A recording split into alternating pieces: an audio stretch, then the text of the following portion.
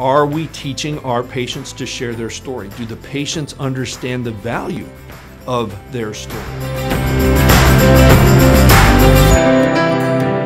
Hi, I'm Dr. Greg Miller. Welcome to AMC. Today we're going to be talking about referrals.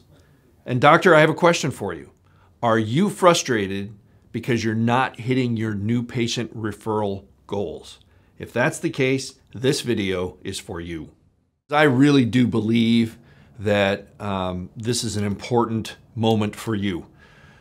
How many of you, by raising your hands, not that I can see them, but by raising your hands, when you graduated from school, you your desire was to have a stress-free, self-sustaining, referral-based, profitable practice. Self-sustaining, stress-free, referral-based, profitable practice. Hands up. I've never, when I've been teaching a class at AMC, had anybody tell me that anything other than that, that that is exactly what they wanted when they walked across the stage and got their diploma. Problem is, they weren't always, or you weren't always given the tools about how to do that. We have practices right now, and I talk to you all day long. We have practices that are struggling because of the pandemic. We have practices that are burnout practices. We have practices that are what we call diarrhea practices because the patients are going out the back door as fast as they're coming in the front door. We want to help you with that. We want to make a difference for you because you're a chiropractor and that's what you deserve. The only way I know of to tackle those challenges is to put a system in place in your office. A system introduces efficiency. As you use the system, you become proficient. As you become proficient, you become productive. And as you become productive, if everything is lined up the way that it should be, you become profitable. And doctor, that's what you deserve. You deserve to be profitable and paid well for what you do for your patients. Now, today, we're not talking about self-sustaining, stress-free, although indirectly we are, we're talking about referrals and why patients refer. You already know that the referred patient is the most desirable new patient in your office. Why is that? Because they already know the experience, or at least they have a good idea of the experience that you're going to have. But when was the last time you had a, a new patient come into your office and say to you, I'm here because my friend told me you were a specialist with my condition. Doctor, every single patient that comes into your office believes their condition is unique. And if they tie that with you being the doctor that can, tr can treat their unique condition, that is a win-win scenario. So we one of the things that we've been working on really really hard the last couple of years for our doctors is to help you become the go-to doctor in your community no matter what the condition is, no matter what the patient is dealing with, no matter what questions they have, we want you and your office to be the place that they think about. So, who refers? Oftentimes, when I ask that question, doctors will tell me it's the patients who have success in my office. If I get them better, they're going to refer. And the hard, cold reality of that is that the data does not prove that to be the case. The data, and we have decades of data, tells us that number one, the patient must like you, and number two, they must trust you and believe that you're the doctor that can help them. So when, when we do that, the problem becomes that our patients are not necessarily taught how to share their story. They don't understand the value of their story. Once we know that they like you and they trust you and believe you can help them, getting that message from your office out into the community and out into those referred new patients becomes the real challenge. And part of that is teaching the patients to share their story. But you have to have a system to do that. So let's get real here. AMC has that system, uh, and you're watching today for a reason. Your practice, perhaps due to the pandemic or, uh, or other, is not where you want it to be. And we've already kind of addressed that. Uh, I'm gonna, I'm just gonna get real. It's not where you want it to be. And for me, that's not what I want to hear either. If your practice isn't where you want it to be, then it's not where I want it to be. And AMC is here to help you. We are here with a system that can help make a difference in your practice and change more lives in your community. We'll help you hit your practice goals. If you don't know, if you don't have any practice goals, we'll help you to create your practice goals. I know today's video is about referrals, and we're certainly going to talk about that. Uh, but I want you to understand, listen to the end. I'll give you some information on how to get a hold of me, and let's just have a conversation about your practice and about what we might be able to do to help you. All right, back to referrals. Step one let's create a referral culture in your office. Doc, let me ask you when the patient, when a new patient walks in the front door of your office, what are they greeted with? What is the culture that they're greeted with in your office? Is the first thing they see uh, a little store over here that's selling nutrition and ice packs and pillows? Because if it is, that's very repulsive to their innate. I'm just going to be straight up with you here. Um, many patients, before they're actually willing to walk through the front door of a chiropractic office, have been thinking about it for two to two and a half years. When they walk through the front door, they already have sometimes some strange expectations of what's going to happen. They're nervous. Uh, their innates are more tuned in than they probably ever have been in their life. And they're walking in and they see that I'm going to be sold something. Patients don't want to be sold, they want to buy, but they don't want to be sold. So there's a place for that, but it's certainly not the waiting room. What about the expectation that you have in your office?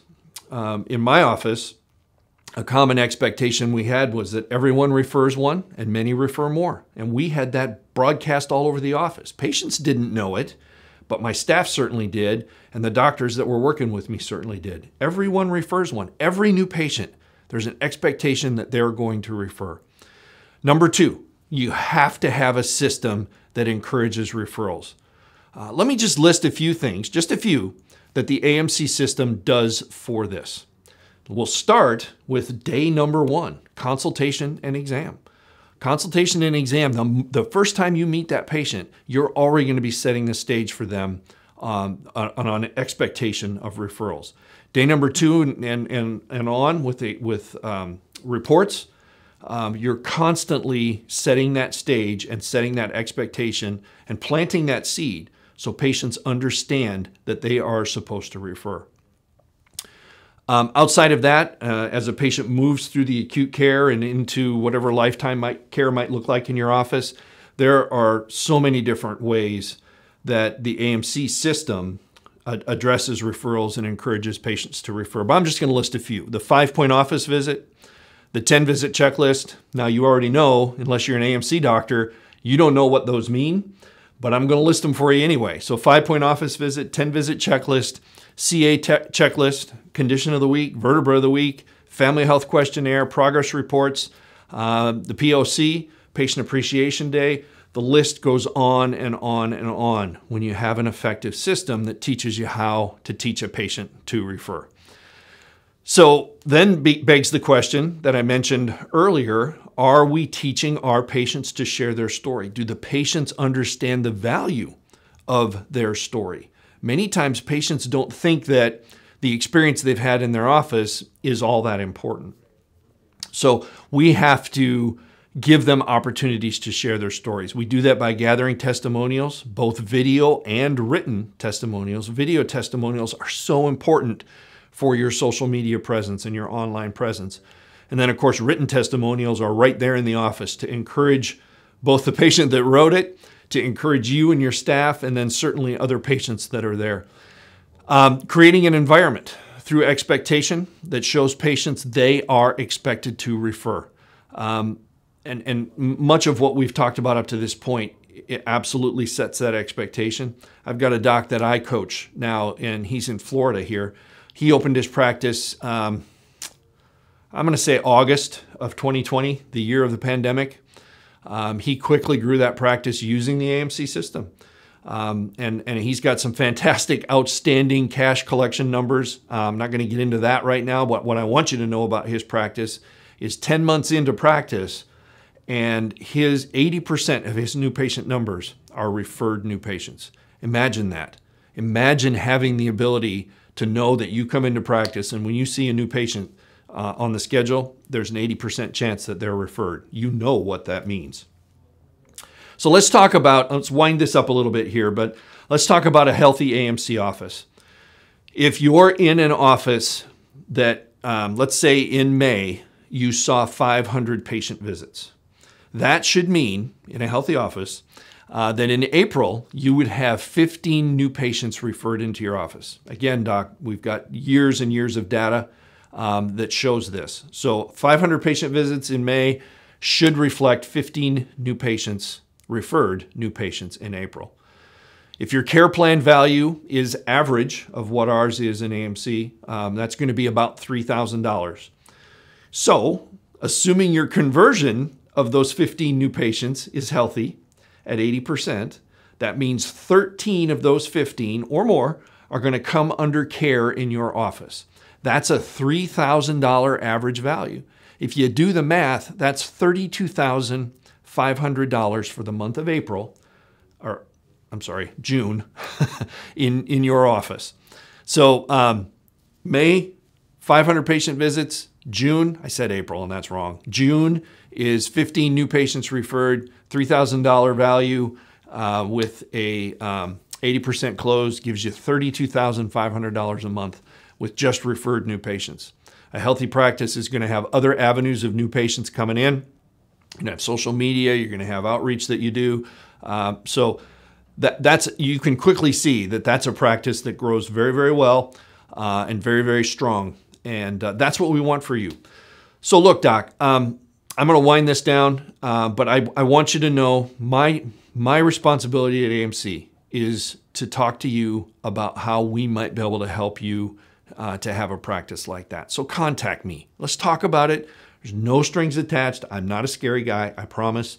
Uh, I would love to have a conversation. I'd love to hear your story, and I'd love to share with you how AMC might be able to make a difference.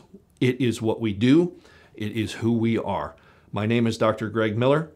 My phone number is 904 463 3906. I look forward to hearing from you soon. Doc, we've got a live Zoom call on August 12th at 1 p.m. Eastern with more detail on referrals in your practice. Register at amcfamily.com slash calendar. AMC is here to help your practice become respected, effective, and valued.